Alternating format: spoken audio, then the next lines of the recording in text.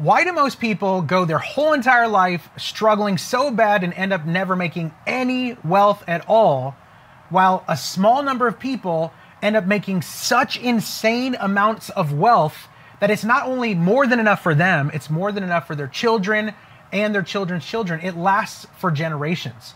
Well, I submit to you that the number one problem that most people have when it comes to finances, when it comes to money, when it comes to wealth creation is that most people don't even know what wealth is. And my question to you is how can you build something that you don't even know what it is? I want to hear, drop it in the comments right now. What do you think wealth is? Okay? Go ahead, just drop it in the comments. What do you think wealth is? Okay? And I'll give you a little hint. Wealth is not money. Okay? See, many people think that if only I could just get a lot more money, then I would be wealthy, right? But the truth is, money is not wealth. And that means that wealth is actually something that you have you may have never considered until now. Now, why would I say something like money is not wealth? Well, here's an example, okay? Here in America, uh, there is a place here in America called the Federal Reserve Bank. Okay, now the Federal Reserve Bank, number one, it's not federal.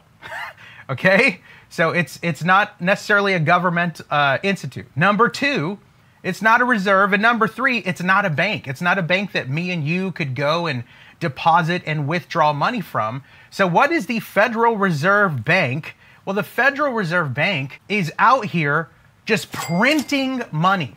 Okay, like one of the reasons why we are headed into a recession is because we are printing money. And because we are printing money, it is lowering the actual intrinsic value of the dollar bill. Now, I don't know about you, but when I think of like this this institution that's out there just printing money, like I a couple of years ago I had this thought like, huh, they're out there printing money, but you know, and, and something crazy. I, I believe it was in the uh, in the pandemic. Uh, they had printed off like 60% of all cash in the United States that existed from the inception of cash until, you know, the pandemic. 60% of the cash was printed out just during that season. And I had an interesting thought at that time. I said, huh, this is interesting. They've printed out like billions and trillions of dollars worth of physical paper, right? They, they printed out tons and tons and tons of cash. But you know what they didn't print out? They didn't print more wealth. How do I know? Because with more cash doesn't necessarily mean more wealth. So again, I want you to ask yourself this question. So, what is wealth? Okay, so there's a really cool quote by Robert Kiyosaki uh, the rich dad, poor dad guy. Okay, and Robert Kiyosaki says it like this. I think it's an interesting quote. I do think that it goes deeper than this, but check this quote out from Robert Kiyosaki. Robert says it like this Wealth is the ability to live forward without working. I'll say it again one more time. Wealth is the ability to live forward without working. Now, I do think that that is an interesting uh, description and an interesting uh, perspective on wealth, but I don't believe that that is the fullness of what wealth is. And uh, I want to explain to you why. Let's come over here to the board. I'm going to draw y'all a little picture, okay? So let's say you are on a deserted island, okay? Here's this deserted island, and it's just you there. Here is a palm tree, okay? And maybe the palm trees like got a couple coconuts or whatever, and you're here on the deserted island, okay? Let me ask you a question. On this side of the deserted island, it's just you there.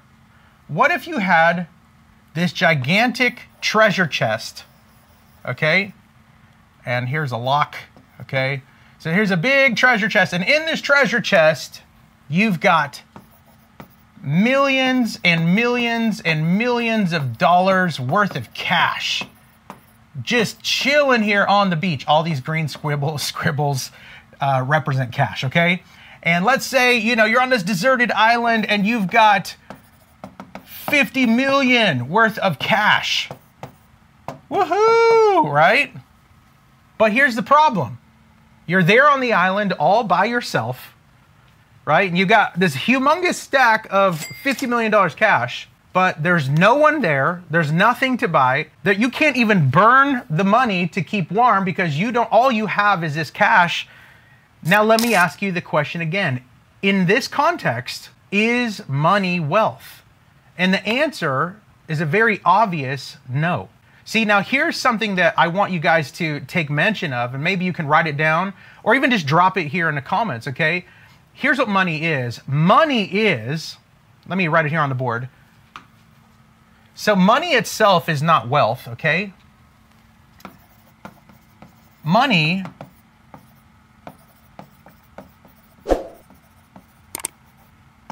money is a measurement of wealth. But money itself is not wealth. Okay? So, money itself is not wealth. So, then what is financial wealth? If you're taking notes, you can write this down. This is a, a definition that I've come up with. Uh, I've been studying wealth now for, for years, a uh, couple of decades now. What is wealth? How does wealth work? Right? So, if money is not wealth, what is wealth? And I'm going to give you guys my definition. I'm not saying it's the definition, I'm just saying it's a definition.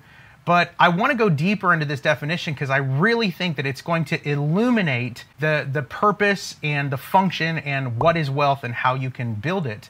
So here's my defin- definition of wealth, okay? Financial wealth is the ability to provide abundant value for someone other than yourself that in return creates abundant options for you. I'll say it one more time.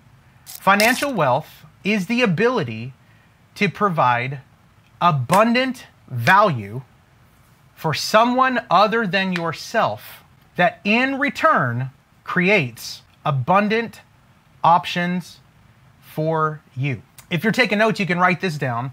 The better you are at creating value for someone other than yourself, the wealthier you will become. Hey, I really hope that you're enjoying the video. I want to invite you guys. I have recently created a free training teaching people how to make money online. My students are literally making anywhere from five to ten thousand dollars a month, and some of them even make hundreds of thousands of dollars, not in a year, but in a single day. If you want more information on how you can get started, all you need is a phone and a laptop. You can go to digitalproductacademy.org or you can click the link below in the description. Guys, after you watch the free training, if it sounds like it might be something cool for you to check out, you can book a free call with one of my client success coaches and they'll be able to help you more. Now, back to the video. Now, you might be sitting here going, okay, this, this sounds interesting, but you know, I'm trying to wrap my head around this and I get it. Like, I've been there too, like trying to wrap my head around, like, okay, well, wealth is like creating value for other people and the more value i create for other people the more options i will have for myself okay? Here's something to really consider okay? So when it comes to wealth i'm just going to go to a new page here. When it comes to wealth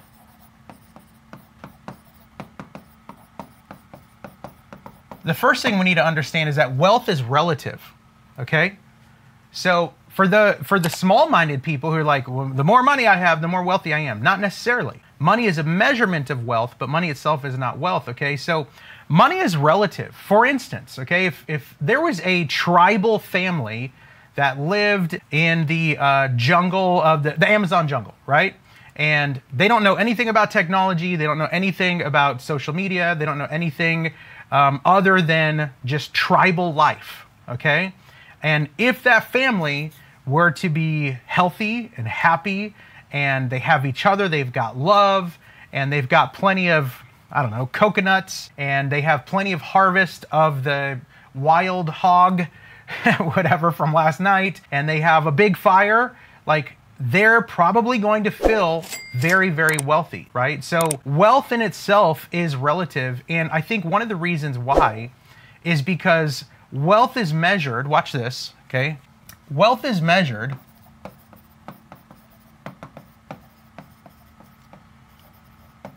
Now, remember, money is a measurement of wealth, but it's not the only measurement of wealth. Wealth is measured by past perceived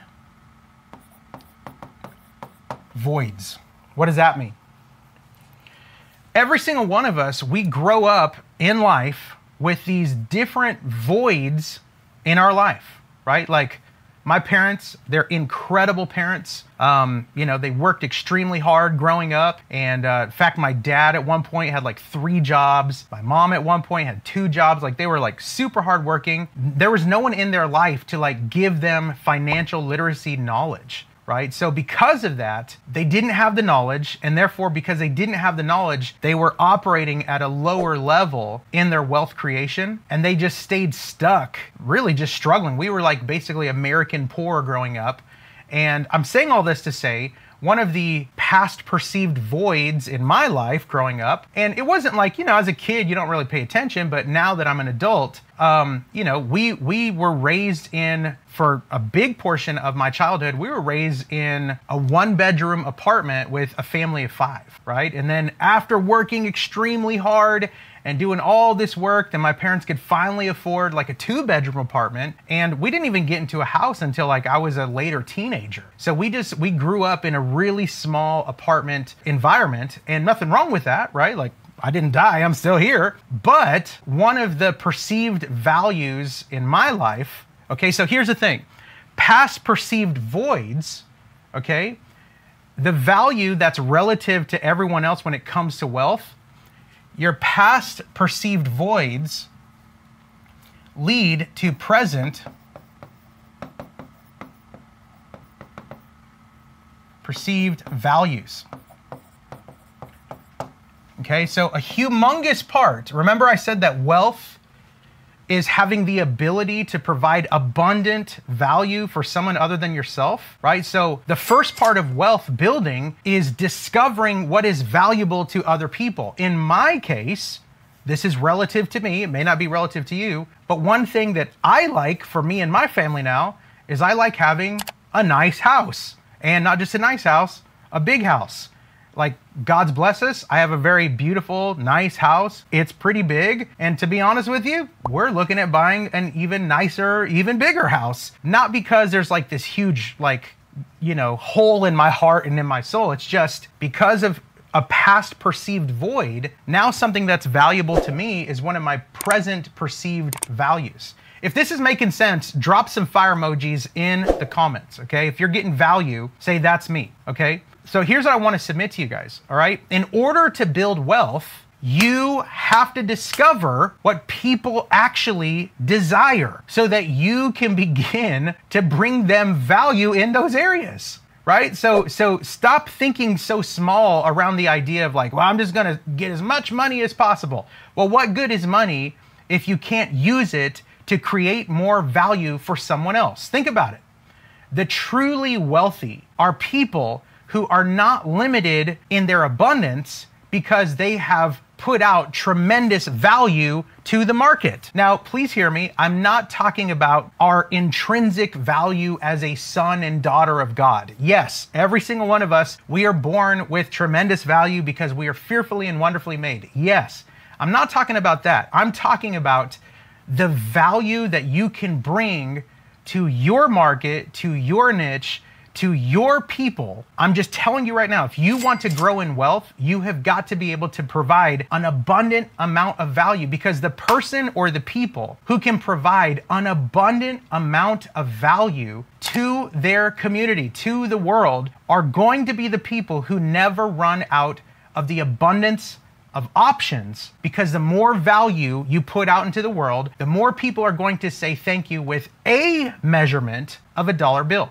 And how do I know this is true? Watch this. Come back with me here to the board, okay?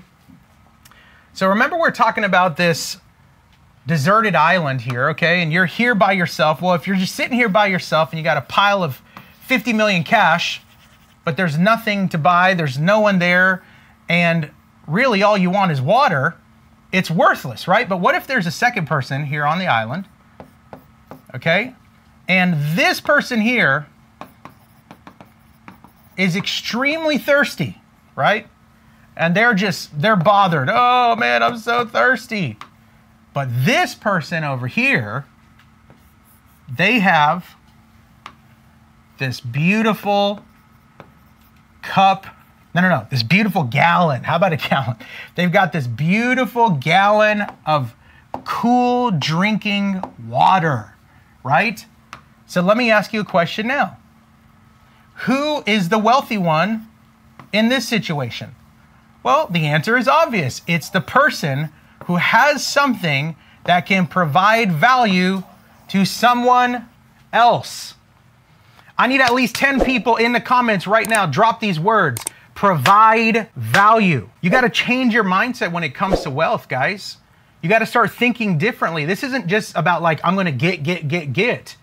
That's not a wealthy mentality. A wealthy mentality is how can I provide as much value as humanly possible to my audience, to the world, and put so much value out there that I never have to worry about if I'm going to have an abundance of options. And notice I didn't say in the second part of my description of wealth, the second part of my description of wealth is provide, you know, an abundance of wealth, uh, sorry, an abundance of value to someone other than yourself. Second part, so that you can have an abundance of options. And notice I didn't say an abundance of money, I said an abundance of options. What does money actually bring? It brings options, man. It brings freedom really at the end of the day, what you and I both desire is not necessarily more money. Like maybe at the surface level, that would be helpful. But what you and I and everybody else on the planet, what we actually desire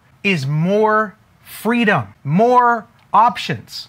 Like, how many of you would love to just drop whatever you're doing right now, book and charter out a private jet to Hawaii for the next two months and stay at the Grand Wailea. That's where me and my family stay. We love it there. Stay at the Grand Wailea for two months and just chill out for as long as you want because you just can. Like, if that's you, just drop it in the comments. Say, that's me. Like, who wouldn't want that, right? And the way that we can do that is with money. But the actual way that we were really able to have the abundance of options is we provided enough value out into the world that enough people said thank you with a measurement of the dollar. Okay? So to wrap this concept up, you've really got to begin to understand that money is not wealth, money is a me- measurement of wealth. Okay? It's a measurement. Meaning, however much money you have, it's just a sign you have provided this much wealth to the planet. Okay?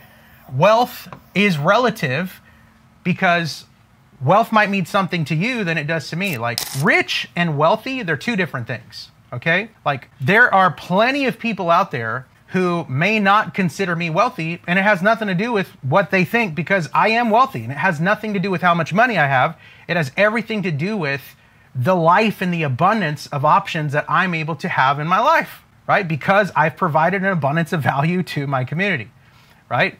So, wealth is relative to each and every person, and wealth is measured in past perceived voids that lead to present perceived values. So let me give you a wealth secret that you need to begin to apply right now in order for you to build insane, crazy, tremendous wealth in your business, okay, in your in your life. You have got to begin to discover what does your community want? What are their problems? What is your audience's desires? Right? Like, what is it? If you can see their perceived voids and say, yo, my thing helps with your perceived void, you will have no trouble becoming wealthy. If this is making sense, just say making sense down in the comments, okay?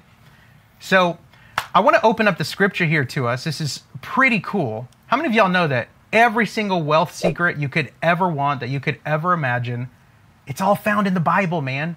Like everything that is for our good, it's it's in the Bible. And I want to lead you guys here Proverbs chapter 11 verse 24 through 26. I'm just going to read all three scriptures and then we're going to break them down each and every one, okay? Proverbs 11 24 through 26 says it like this.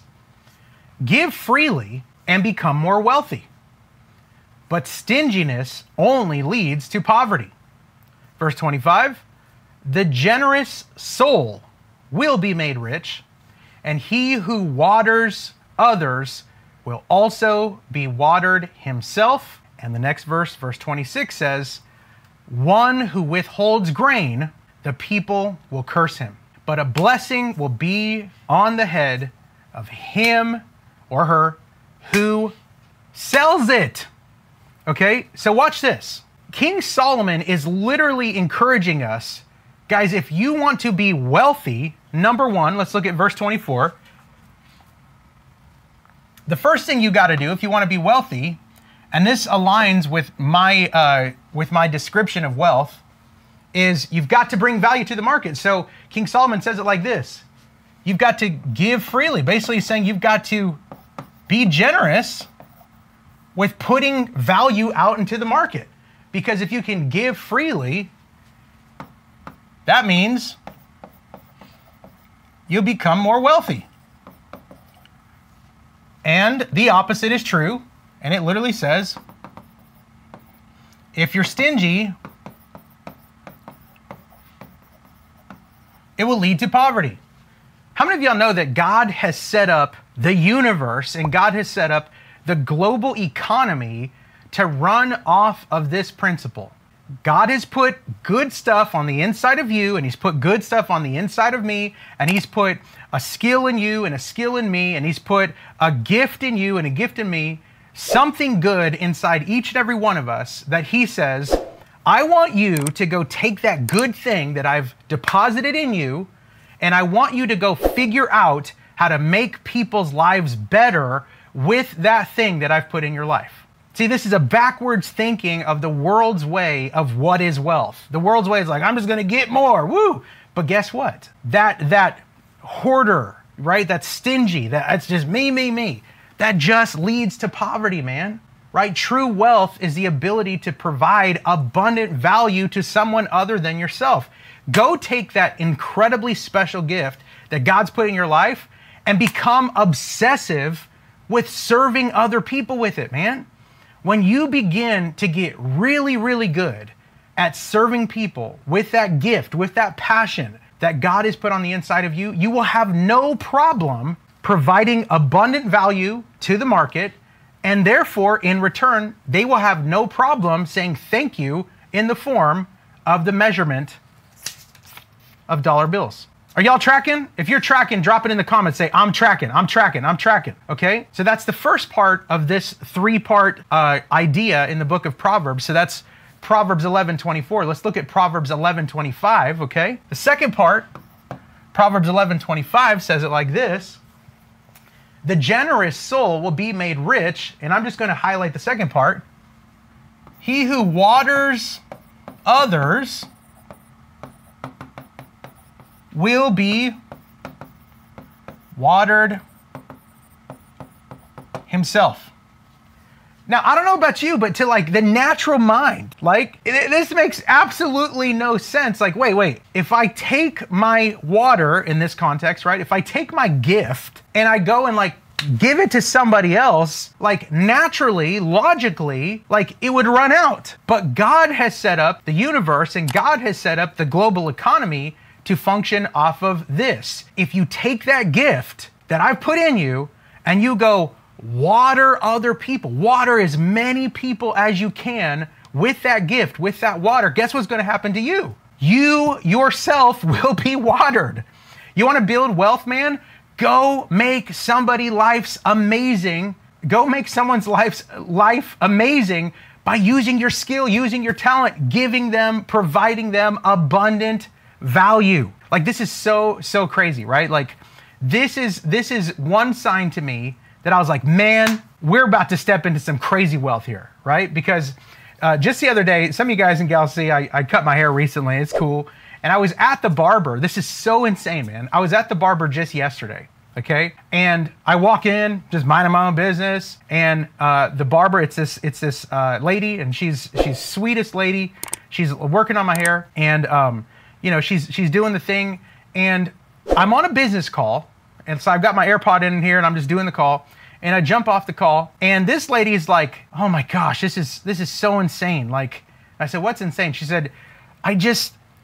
like your your YouTube stuff, like this is crazy. I was just asking God, like God, if this thing of like building wealth is really true, like can you please just like send somebody to me?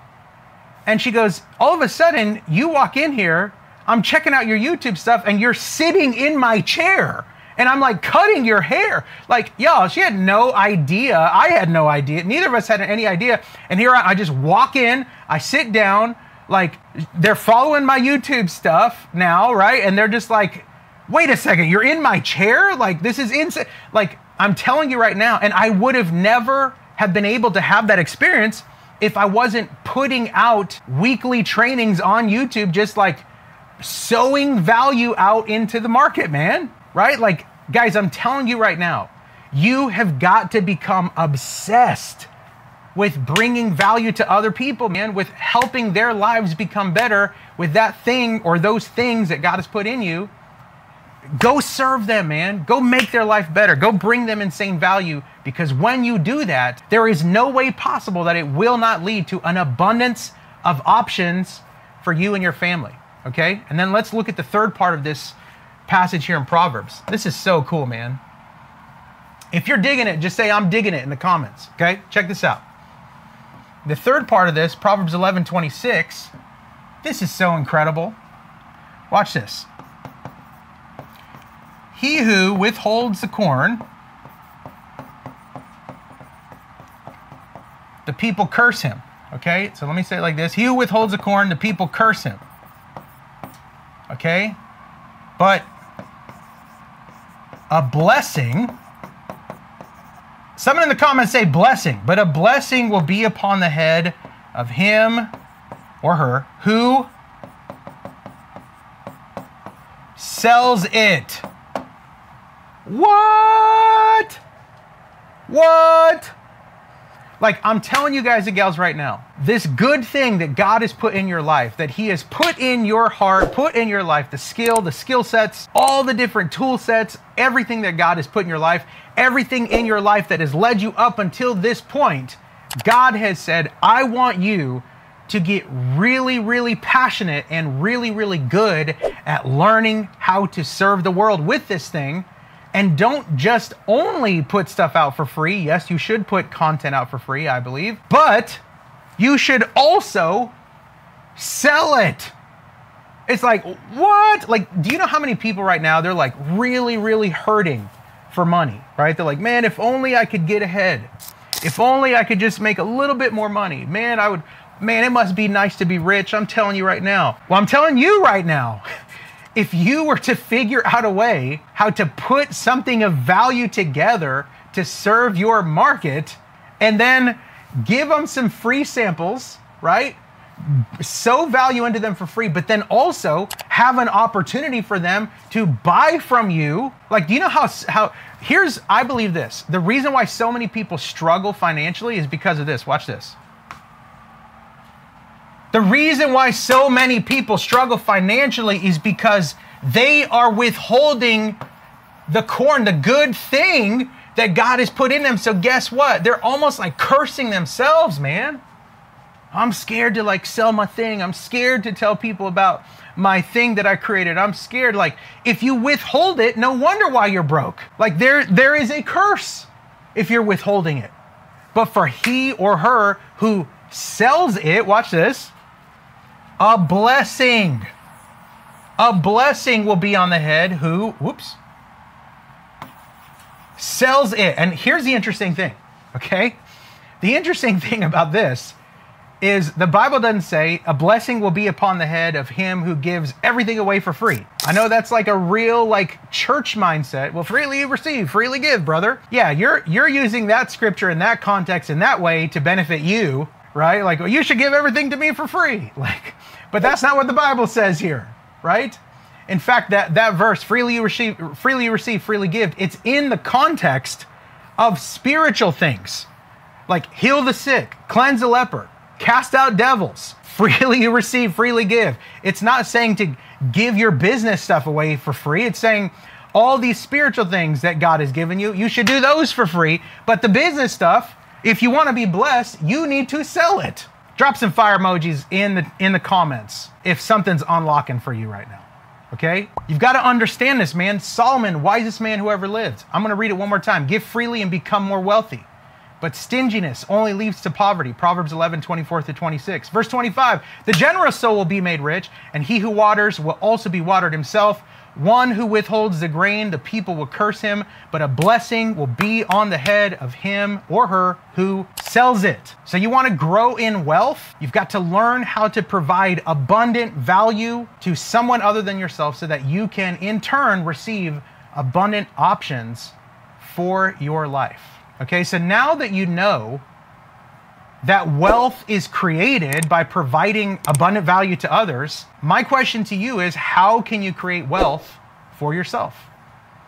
Well, let's go here to the board. We're going to break it down. Hey, real quick, if you've made it this far into the video and you're liking it, do me a favor, share this video with somebody that you think might also receive some value. My biggest heart in this channel is to simply bring some awareness, financial literacy, and do it all from a biblical perspective. So go ahead and share the video, like and subscribe, do all that stuff too. Back to the video. I'm to give you just uh, four different steps here, and I think they're to be super helpful for you. Step number one this one's a given, but most people don't even do this. Number one,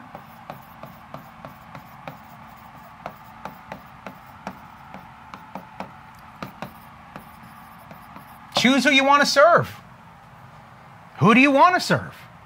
Right? Like it a lot of a lot of people, especially like Christians, you know, they'll, they'll use language like, I feel called to serve. That's cool. If you're called to do it, that's fine. But can I help you? Don't sit around waiting to feel called. Like, what's even better than feeling called is to choose to serve. Like, I'm going to choose to serve this group of people.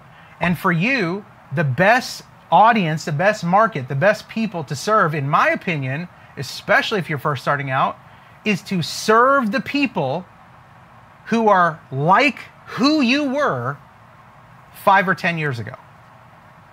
Rewind in your mind five or 10 years, who you were then, and the journey that you had to take in order to become who you are now, okay?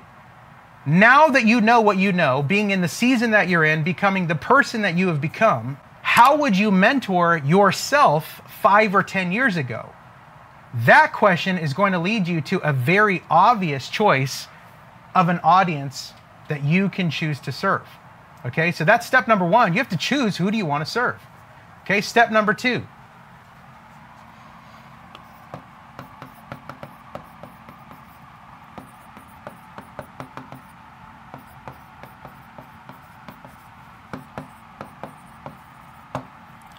Discover what is valuable to them. See, most people make this problem.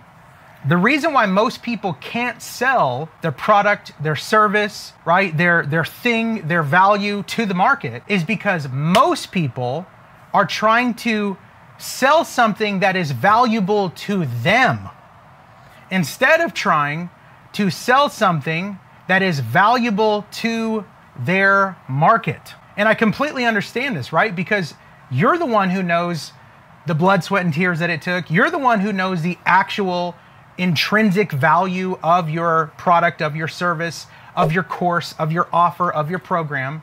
Okay? But the only thing that your market knows before they pay you is the perceived value.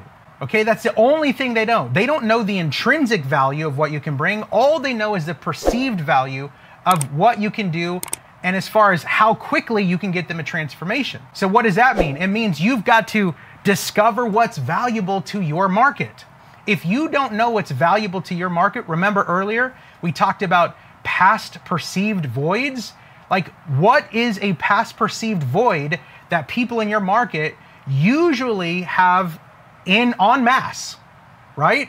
Like, maybe if it's um, musicians, one of the past perceived voids there is um, there's a lot of them, right? It's I don't know how to play, I don't know how to sing, I don't know how to write a song, I don't have money for the equipment, right? Maybe your niche is um, uh, basketball, right? You want to help people in basketball. What's the past perceived voids there? Um, no one was there to help me practice when I was growing up. Uh, I don't know how to shoot correctly. I've never been good at three pointers, whatever it is, right? Um, we have we have uh, students who are in all kinds of different niches, serving all kinds of different markets. And the punchline is this: if you can know what is desirable and what is valuable to them, guess what? It leads us to step number three. Whenever you figure out what is valuable, and here's the punchline, to them, then all you got to do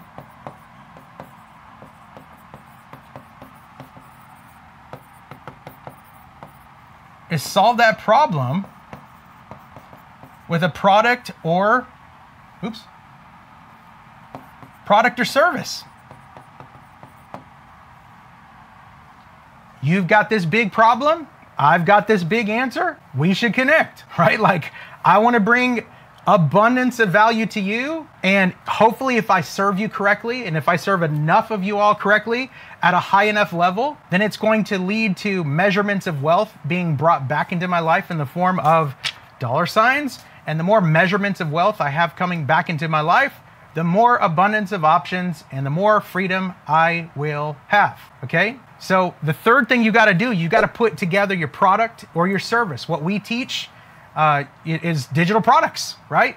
Put together a course, put together an ebook, put together a program, put together a mentorship, right? Put together something that you can create one time, and then after the work is done up front, you put it out there and it brings you value, bring, sorry, brings your clients value over and over and over, and then they pay you over and over and over and over. Okay, so that's the third step. And then what's the fourth practical step that you can take to begin to build true wealth? For you, your children, and your children's children. Step number four. Okay. Now that you've discovered all this,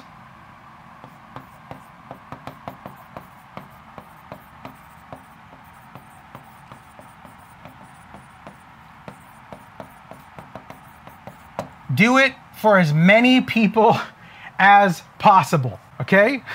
Like, this is so interesting to me, but why in the world are companies like Apple or Amazon or Starbucks, why are these companies so massively wealthy? Well, it's not because they're sitting on piles of cash, even though they are. That's a measurement of their wealth.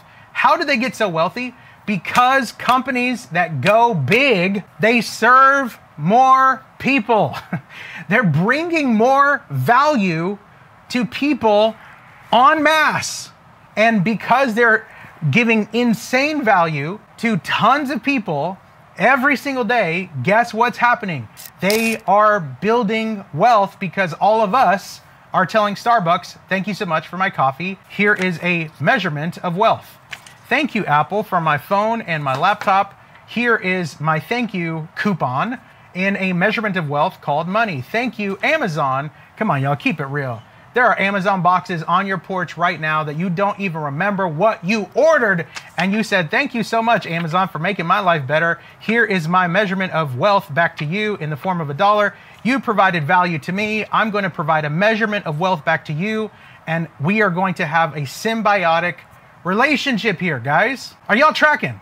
Are y'all tracking with this? Okay. So, the biggest thing you've got to remember, guys, because wealth is the ability to provide abundant value for someone other than yourself, then you have got to figure out how can I provide that abundant value for someone else so that you can stack up these measurements of wealth and have an abundance of option for you and your family and your children's children.